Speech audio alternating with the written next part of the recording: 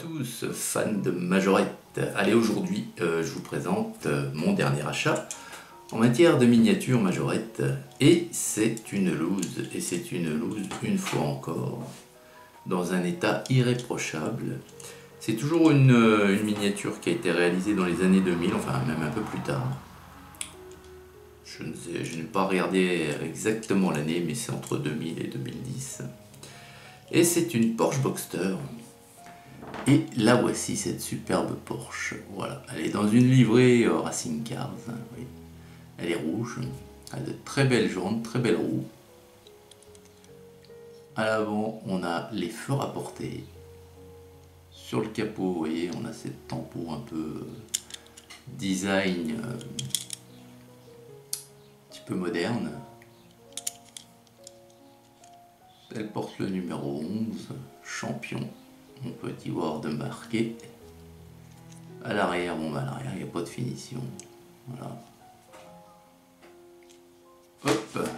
L'intérieur, enfin le dessus, c'est comme ça. Et hop. Et voir le,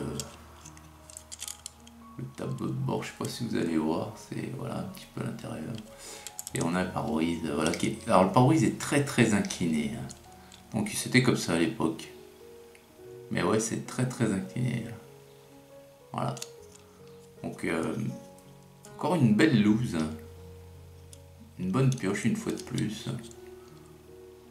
Et voilà, moi si j'ai des looses, euh, vous voyez, c'est dans cet état-là. Après trop... Il y a un petit éclat de peinture ici, je l'avais pas vu. Mais c'est ouais, minime, hein, je l'avais pas vu, je le vois maintenant. Vous voyez le tour du passage de roue là. Voilà. Elle est quand même superbe. hein. Voilà, dans un état